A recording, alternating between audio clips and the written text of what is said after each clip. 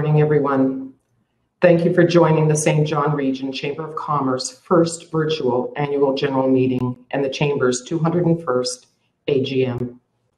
My name is Carol Cunningham, and I'm the Director of Events for the Chamber. I want to say a special welcome to Mayor Don Darling for joining us.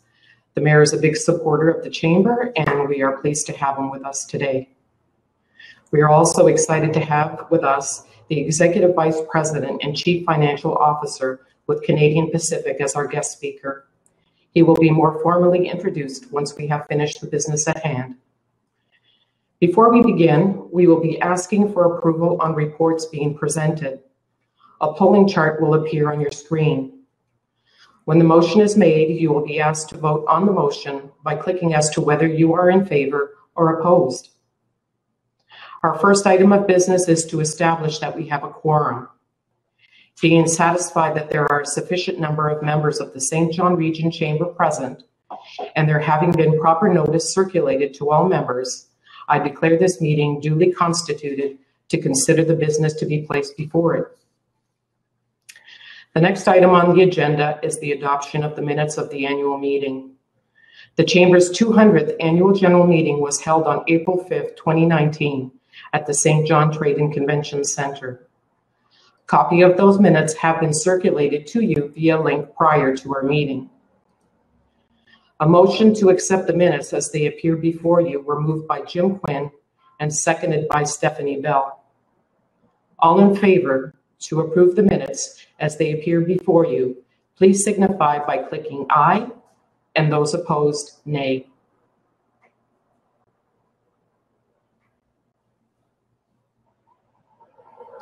The motion is carried. We can now turn our attention to the reports. First is the committee report. This past year has been a busy year for the Chamber and many of our volunteers. The report of various committees were distributed to you in advance of this meeting via link.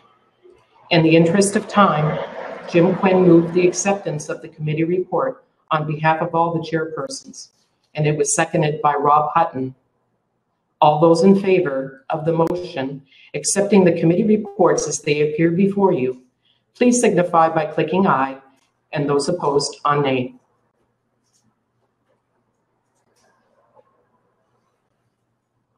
The motion is carried.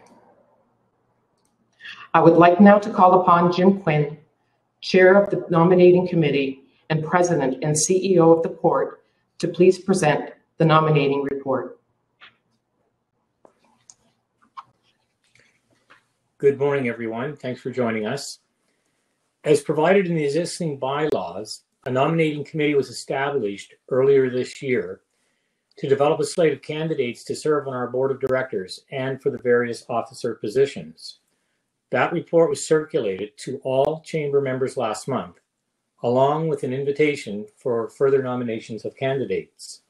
No additional nominations were received prior to the deadline of June 10. Those who will serve as members of the board of directors of the St. John Region Chamber of Commerce are Chris McDonald, Dr. Jeff Steves, Andy Carson, Ray Robinson, Chris Hall, and Christine Gilliard.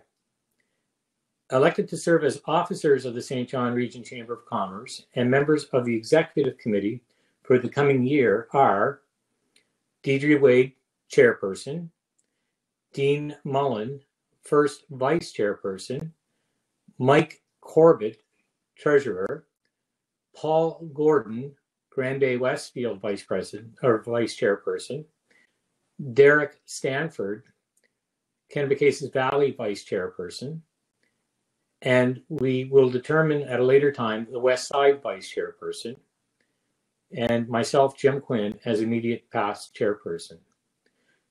Please note Due to COVID 19, the chair of the board of directors term has been extended for an additional term as requested by the nominating committee.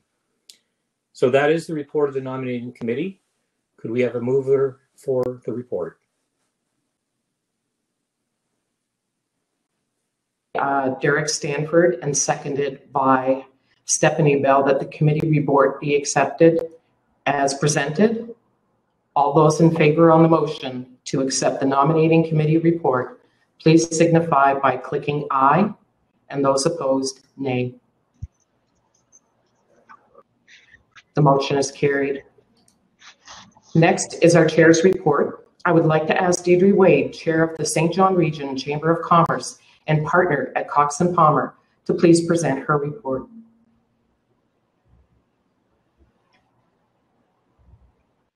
Good morning.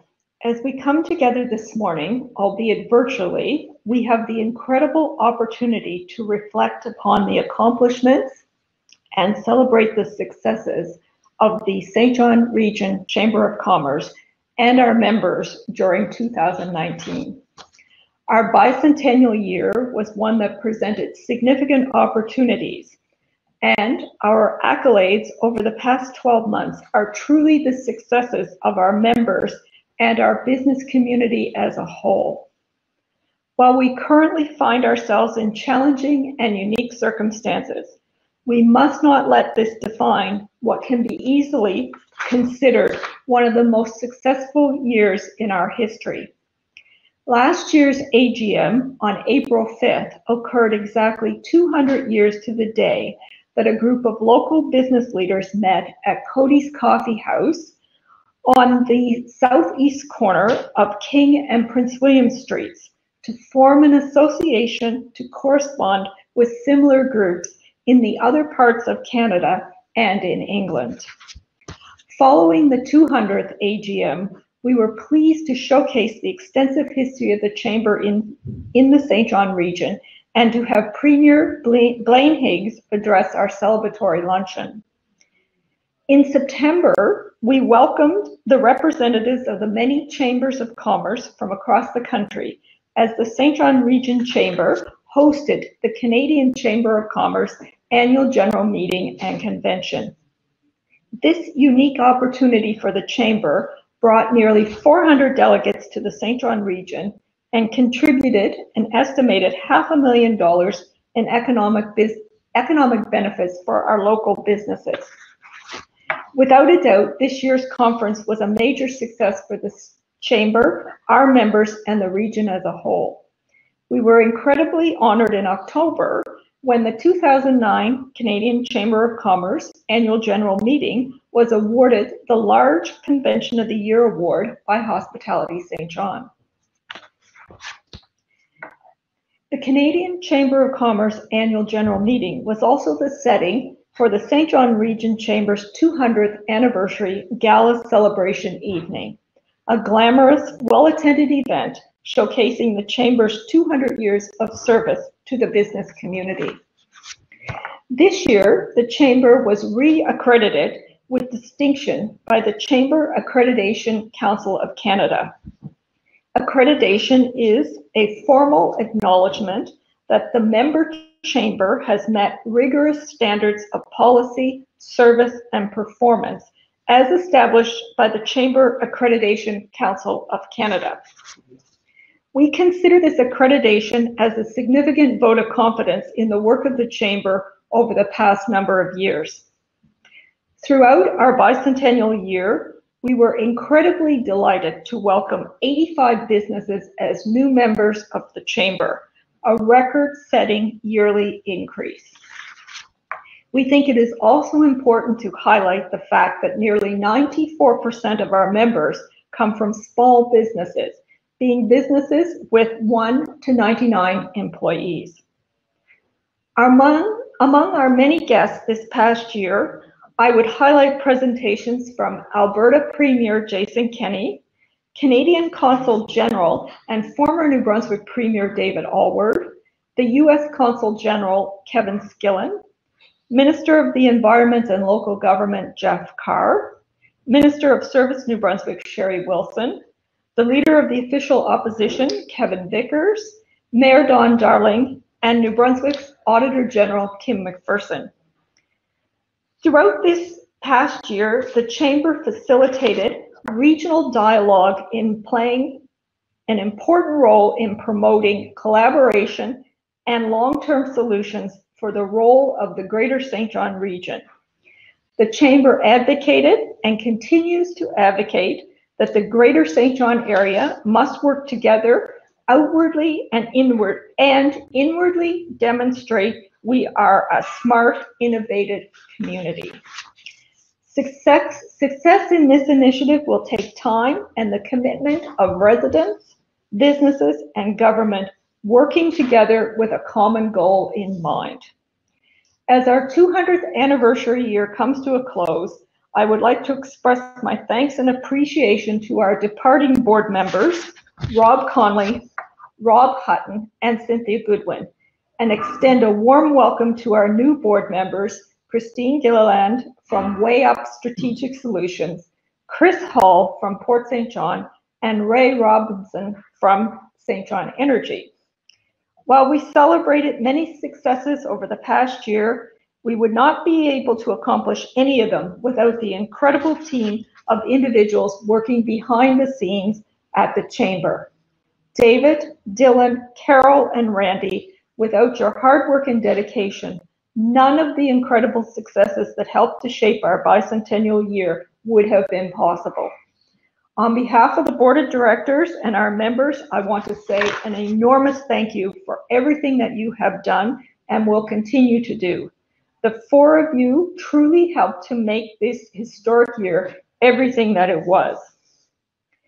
The last few months have been challenging for all of us, and the Chamber understands that your interests, needs, and priorities have been impacted as a result of the COVID-19 pandemic. pandemic.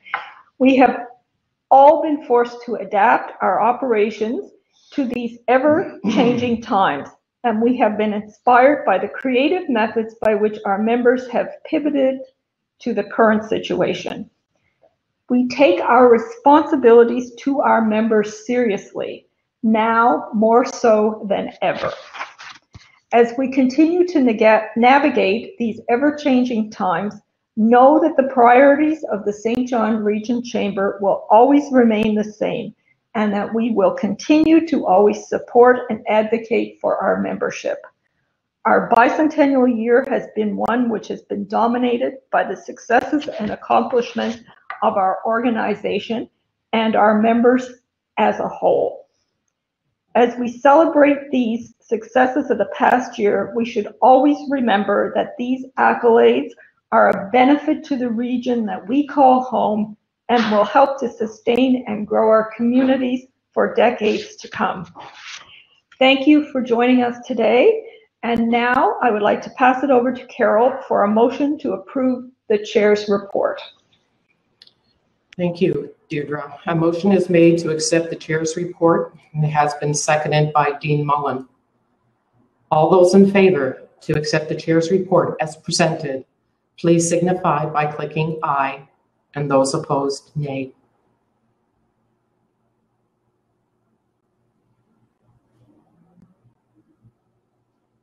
Motion carried. Next on the agenda is the treasurer's report. I would like to ask Dean Mullen, partner with Jameson Mullen, who is our first vice chair and our current treasurer, to present his report. Good morning. The St. John Regional Chamber of Commerce financial goal is to ensure sustainability, growth, and financial security. Success in these goals allows the Chamber to provide services that increase value to you, the members. With this goal in mind, and focusing on getting more of every dollar spent, 2019 saw increased pressure on the Chamber to ensure that events are well planned, new opportunities are capitalized on, and existing models adjusted. Because as David always tells us, there are a lot of different groups that are putting on events, and we need to ensure our events are timely for our members, efficient in their delivery, and meaningful in their impact to our members.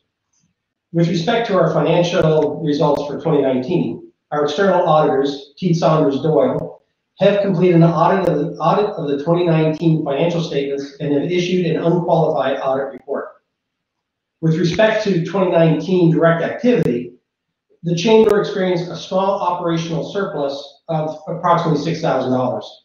This is a decrease from 2019 of approximately 28,000. This is related, primarily related to a decreased level of contribution earned from our events as compared to 2018. However, because of our continual efforts to ensure our reporting is accurate and on a switch to a new accounting system, certain amounts were identified during the year, identified as not being properly removed in the, in prior periods. As a result, the 2019 financial statements reflect a cumulative adjustment uh, in 2019 of approximately $26,000, which results in accounting loss for 2019 of approximately $20,000. The chamber generates its revenue primarily from two sources, memberships and special events. The membership revenue has decreased slightly to 204,000, but our special events increased to 450, 450,000, a $24,000 increase. Obviously, our events are an important part of what the chamber does and how it continues to provide meaningful support to our members. I would encourage every member to take advantage of the events and contact the office should you have any suggestions for new events. With respect to costs, staff continue to monitor and reduce expenses whenever and wherever possible without impacting services provided to members. This focus on the expenses on the details allows us the ability to capitalize on opportunities as they present themselves, which we can offer to our members for increased service. At the end of the fiscal year, the chamber had cash and investments of approximately $194,000. Of this amount, 40,000 dollars is internally restricted to ensure the financial stability of the organization. The remaining 154,000 is unrestricted and is available to the organization for its general operating needs and assists in its ability to capitalize on future opportunities. This is my final year as treasurer of the chamber, and I'd like to thank the staff for their dedication to ensure every dollar is spent in the best way to improve the services of the chamber to its members. And I also like to thank the board for its support and its important role in the financial oversight of the organization. At this time, I'd like to make a motion that the treasurer's report be accepted. Thank you, Dean. A motion has been made to accept the treasurer's report, seconded by Mike Corbett. All those in favor to accept the treasurer's report, please signify by clicking aye, and those opposed nay.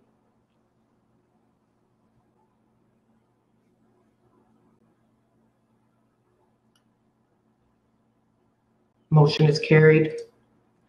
Next is the CEO's report. Would David Duplessis, CEO with the Chamber, please present your report? Good morning, everyone. I too would like to add my personal welcome with everyone that is here with us today. Now, as we've heard from Deirdre and Dean, it really has been an unprecedented year at the Chamber. We've had many successes, some of which you've heard about this morning, some you may have read about in various media stories, and still others that are part of the collective experiences that we've all shared. 2019 represented a milestone year not only for us, but for the entire Chamber of Commerce movement as well. As one of the oldest chambers of commerce or boards of trade in the entire country, we have survived because we've been able to remain relevant in uncertain times with challenging economic conditions. This was no easy task, as you can imagine. We have survived because of our members. Our members have survived, and they are making their mark on our city, our province, and the rest of the world. This became even more evident as we began our research into the story of our 200 year old chamber. We spent many hours going through files, newspaper clippings, minutes of meetings, publications, and our archives that are stored at the New Brunswick Museum. I wonder if when Lachlan Davison first met with other local business people at Cody's Coffee House to form our association, I wonder if they would have been able to imagine that we would still be here two centuries later whether it was creating Canada's first chartered bank or inventing the world's first steam whistle at Partridge Island. We are a city and a region of innovators and believers. When St. John's very own Mabel Thompson became Canada's first female golf champion in 1902, and Robert Mawhinney invented the hydraulic system for dump trucks in 1920, they persevered because of the very same spirit and drive that fuels an entrepreneurial culture that exists to this very day. Now, if we fast forward to 2019, and we see members continuing with this tradition of excellence. National Bank performed a major upgrade to the facilities on King Street. Port St. John and the St. John Airport saw infrastructure improvements, and Irving Oil welcomed employees to a brand new home office in the heart of uptown St. John. Longtime members Angus Miller Insurance celebrated their 100th anniversary. FCS Flooring and Concrete Solutions celebrated 65 years. Canaport LNG, 10 years in St. John. Natasha's Wedding Events expanded their portfolio of venues. And Italian by Night was featured on the cover of Costco's national publication. As we enter our 201st year in business, never in my wildest dreams would I have ever guessed that I would be speaking with you over the internet through our first ever virtual AGM. But this is not the first time that the Chamber or the Board of Trade has entered a new year with such uncertainty. We've survived two world wars, multiple skirmishes, played a major role in Confederation and maritime union discussions, and we saw the building of our nation's railway system. And this COVID too shall we survive. We will continue to represent and be champions for business in our region, and we will continue to press all levels of government for policies that help our members survive and grow. And finally, working with our partners and stakeholders, we will continue to play a major role in the economic and social well-being of our vibrant region. We've already seen many of our members pivot and reinvent themselves in a positive way in order to adapt. In fact, one such member, Rogue Coffee, has just this week won the Canadian Chamber of Commerce Resilience Grant of $10,000. And it's this kind of creativity and drive that will help our members evolve to whatever the new normal will become. I thank you for your continued support because we are all in this together. I would now move to accept the CEO's report. A motion is made to accept the CEO's report as presented. It was moved by Derek Stanford and seconded by Mike Corbett. All those in favor to accept the CEO's report, please signify by clicking aye, and those opposed nay.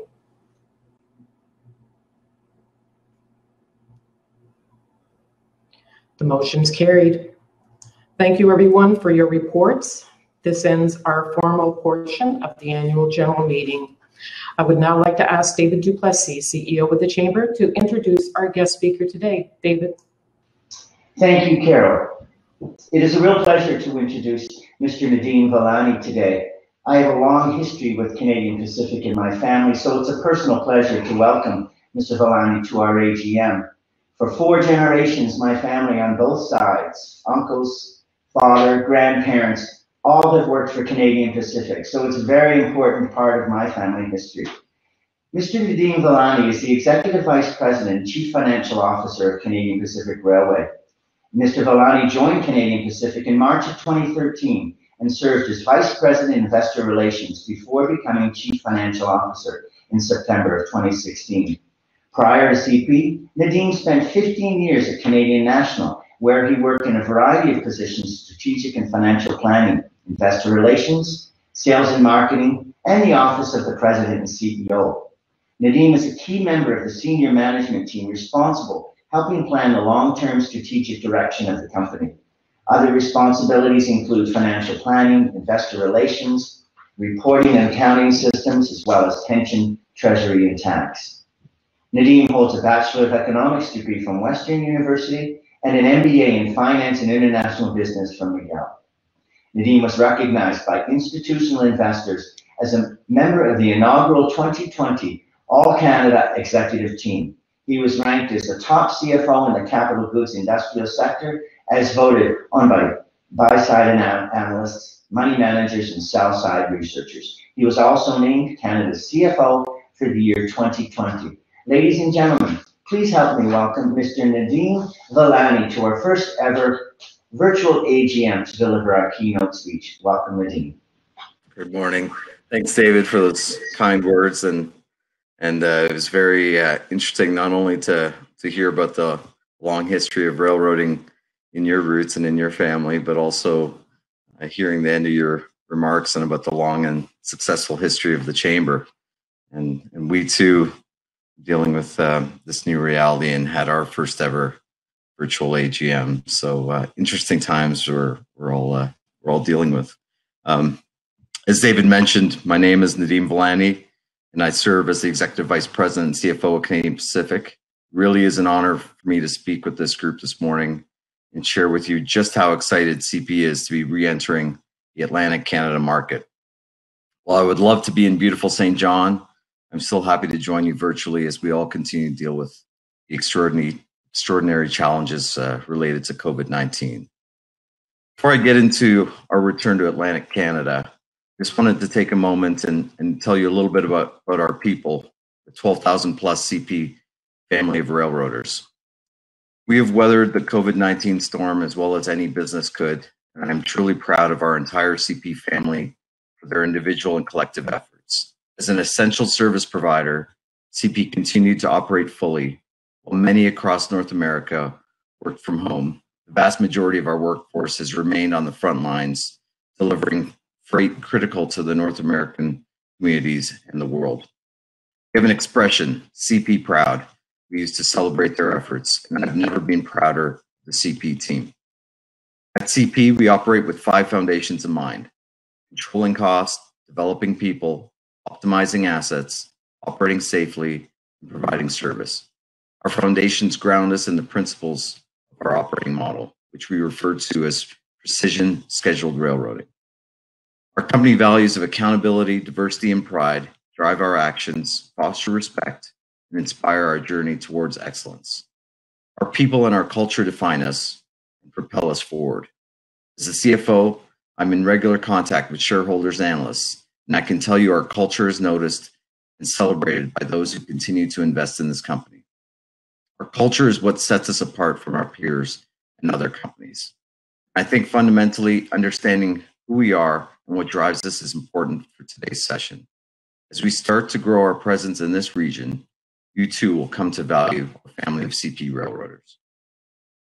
For those who are not familiar with our history, I'll share with you that CP operated our main line into and out of Saint John from the late 1880s until the early 1990s. By the early 90s, the lines from Sherbrooke to New Brunswick were determined to be uneconomical, and the leaders of the day made the hard decision to sell those portions of the network to insulate CP from economic losses. In that time, until 2019, the former CP line was owned by a number of different short lines, most recently operated as the Central Maine Quebec Railway. As such, the most obvious question for me to address today is why CP decided to purchase this line and re enter Eastern Canada. The answer is multifaceted, and to fully understand what we hope to accomplish in the future, I'd like to take a minute and tell you a little bit more about what's happened at CP over the last 10 years. More specifically, I'll take everyone back to 2012. At that time, CP was widely regarded as the worst performing railroad of the seven Class 1 railroads in North America. A New York based activist shareholder named Bill Ackman came up with an idea that he, if he could convince Hunter Harrison, who had retired from CN and was believed to be the most successful railroader CEO in, in history, to come out of retirement, he could reinvigorate Canada's railroad oldest and, and uh, original transcontinental railroad. In May of 2012, Mr. Ackman's vision came to reality. He convinced CP shareholders to vote for change, and Hunter eventually became CEO. Over the course of the next five years, CP went through a transformational change. We hired a new management team, including our current CEO, Keith Creel. I joined a few weeks later, and many other senior leaders that decided to join the team. We led the company through a major reorganization and came out as the best run railroad in North America. In January of 2017, Hunter retired from CP and Keith became our CEO. With that change of CEO also came a new mandate sustainable, profitable growth. During the 2017 to 2020 timeframe, we successfully grew faster than the industry. As we turn the page to 2020, Growth for CP will now come in part from us entering new markets, and we couldn't be more excited to be back in Atlantic Canada, working closely with Mr. Irving, very strategic stakeholder, to deliver a best-in-class rail service directly to and from the city and Port of Saint John. CP is extremely fortunate to have as our connection JD Irving, whose Eastern Maine Railway and New Brunswick Southern Railway connect New Brunswick shipments to CMQ in Maine. I am very confident that their team will be a source of great strength as we refine our service offerings. Over the next three years, CP plans to inve- invest at least $90 million to upgrade CMQ's track infrastructure in Maine and Quebec. Track upgrades are underway as we speak, and the by the fourth quarter, we'll be able to offer 24-hour service between Saint John and Montreal. CP New Brunswick Southern Railway and Eastern Maine Railway routing in this corridor is 200 miles shorter than our competitors. It's a compelling advantage. It means customers that might not have considered rail in the past have good reason to take another look. For 14 consecutive years, CP has been the safest railroad in North America, according to Federal Railroad Administration reportable train accident frequency. Safety is foundational at CP. Our CP's safety culture comes from our investment in robust track and other critical rail infrastructure. CP is committed to spending 1.6 billion on capital system-wide this year, and we remain committed to our capital spending despite the challenges brought on by COVID-19. In fact, we're the only railroad that's going to continue to maintain that our level of, of capital investments uh, since prior to the, the pandemic hitting. As it relates to the Port of Saint John, we feel we have discovered a true diamond in the rough. It is a deep water, congestion free Atlantic Ocean port with a top notch container terminal operator in DP World. We work with them in other locations as well and have a, a long uh, history working together. When you consider the value of this port and add CP's coast to coast network and precision scheduled railroading model, the potential for growth is enormous. From a strategic routing perspective, I believe companies in places like Montreal, Toronto, and Chicago will choose our new routing because it offers the most direct rail link to Atlantic Canada. It offers them a compelling transportation product, grows CP's business, JD Irving's business, and it creates economic activity and jobs in Saint John. It's a win-win-win proposition. It also supports the Saint John Port Authority's seven-year, $205 million modernization that's now underway. A new service will provide value for businesses in Saint John and across Atlantic Canada. Even businesses not located on rail can take advantage of this new routing by using NBSR's distribution and reload facilities in Saint John, as well as the container terminal at Port Saint John. We see opportunities across all commodity segments, and we have already converted new business in intermodal, automotive, forest products, energy, and bulk. In closing, I'd like to reemphasize just how excited we are at CP to be back in Atlantic Canada with the acquisition of CMQ. Our, our entire organization is working hard to ensure our new service will be well received by both shippers and receivers, and that over time we create a new Atlantic gateway and transportation ecosystem right here in Saint John. We look forward to servicing to serving in Atlantic Canada and to adding value in everything we do here from safely and efficiently moving freight to supporting the economy, the community. I look forward to participating in future events and hopefully it's next time it's in person. Thank you again for your time. Well, thank you very much, Nadine. We too are excited at the investments that Canadian Pacific has planned, and we know that the rail and port connections uh, from and to Saint John have been very instrumental in our uh, economic success for the last uh, few hundred years. So it's exciting to see those connections being made again and offering service direct from Saint John to Montreal and Toronto. As a small thank you gift, for speaking with us today, we are making a donation to the Saint John Boys and Girls Club, an organization that helps the children in our region. So as a special thank you to Canadian Pacific, we will be making a donation in your name. I would like to thank everyone for participating in our first ever virtual AGM. Thank you to our board of directors for their support. Thank you to our executive. In particular, I would like to thank Deirdre Wade and Dean Mullen for continuously being available when we need their support, talking us off the ledge as well. And once again, thank you to our membership. Your support over the last number of years and indeed 200 years is instrumental in our success, and we thank you. Once again, thank you everyone for attending. This meeting is adjourned.